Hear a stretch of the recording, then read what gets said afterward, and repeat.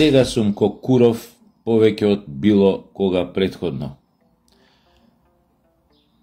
А е нормално, затоа што и Таче си замина од СДС, па за да не им дојде нагла промената на овие, пошто ме сакаат да бидам нивни следен председател, Па реков, знаете, малце да не им падне шок сега таче таков куроглав. Викам, дај, викам, ја ќе направам.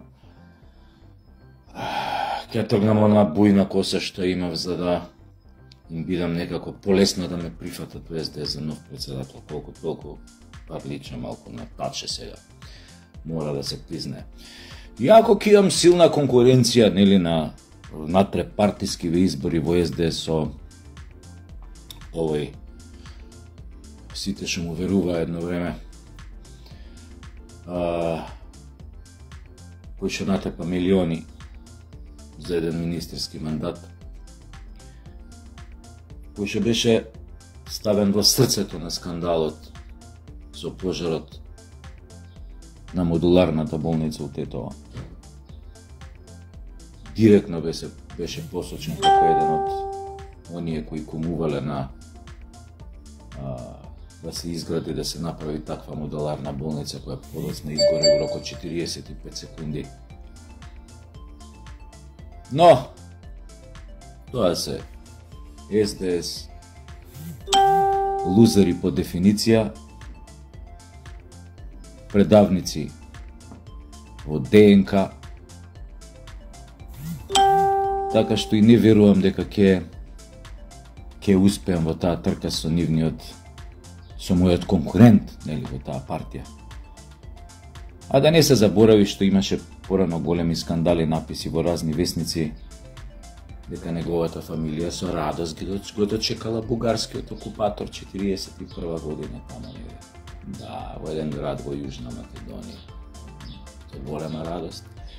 Па се збореше, се пишуваше и некои многу скапи црквени реликви. Подариле да си ги однесат во Софија.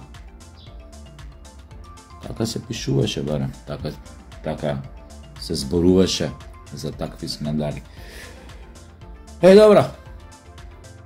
Може него ќе си го изберат за следен председател. Али не е лошо да се држат до о, оваа варијанта.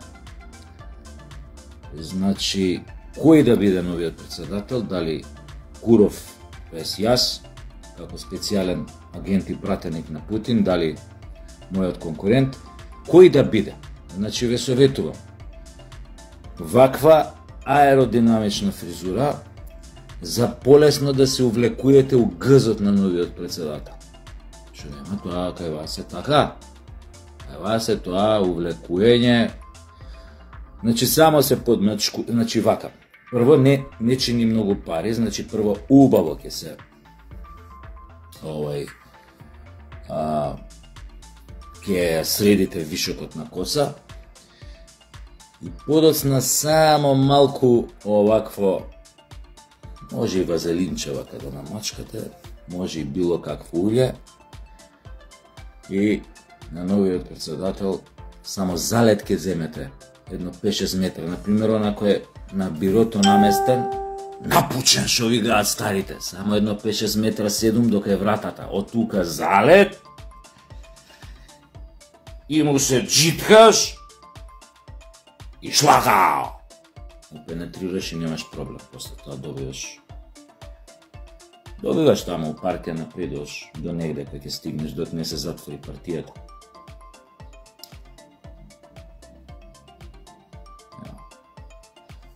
Наследството на Таче треба да си го чувате.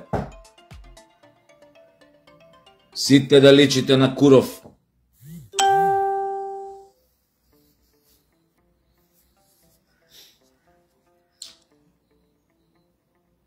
Инаку, вадат изјави денес, овие денови од и од Коцијас, што изјави дека па и од дамна го има изјавено, до душама го прават кога да е супер актуелно. Па Веќе порано го имаш изјавено.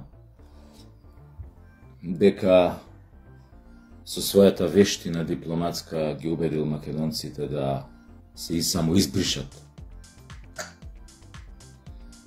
Тоа е како не гледа светот, тоест како не гледаат соседите. А не како СДС не убедува дека со тоа сме си отвориле врата на НАТО, на, на, на ЕУ интеграции, како ЕУ поинако не доживува, како сме сега фактор на стабилност, на разум на Балканот. Иначе тоа е многу стара изјава, оно што многу одамна изјави така. Бога ми Ципрас имаше некоја слична изјава. Како не убедиле со помош на пенкало да се предшкртаме вака. И поете убав повод, новата власт, ВМРО да ДПМН, со Мицковски, со цела поддршка што има од нас, од македонскиот народ, да им покажеме на тоа грците да су се мало више веома заебали. Уште не се знае до крај каков ќе биде коалициониот капацитет на ВМРО, иако ја им советував да искоалицираат ако треба, колку и да треба да се пазат од нив и од Максим од Левица и со Левица, нека направат 74 пратеника и тогаш ќе имаат двотретинско мнозинство во собрание, не им треба ништо, само да си го вратат, да го не го вратат името назад. И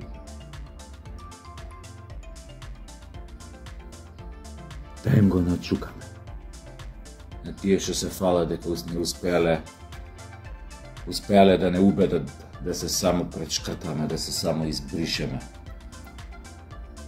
А уствари не не убедија нас, кои што не излегувавме на референдум,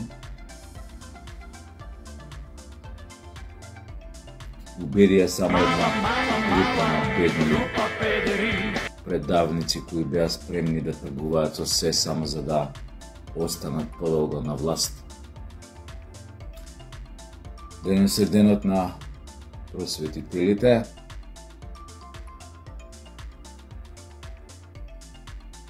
кои што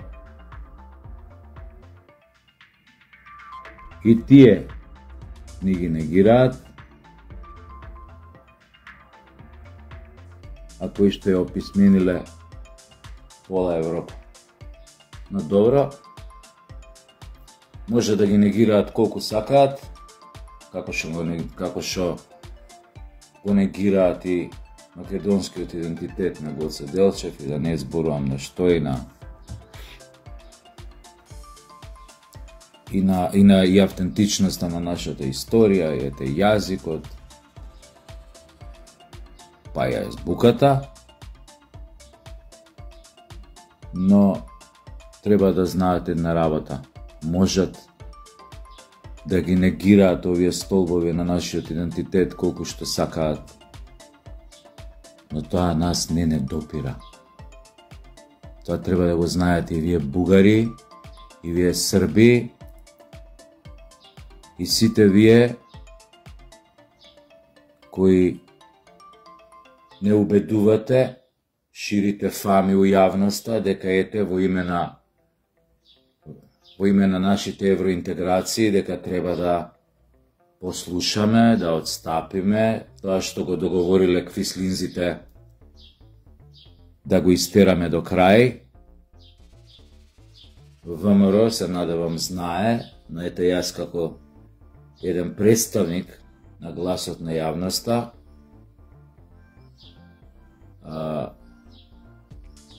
ќе им пренесам дека тоа што го зборат тие спинови, тие пропаганди, тие фами,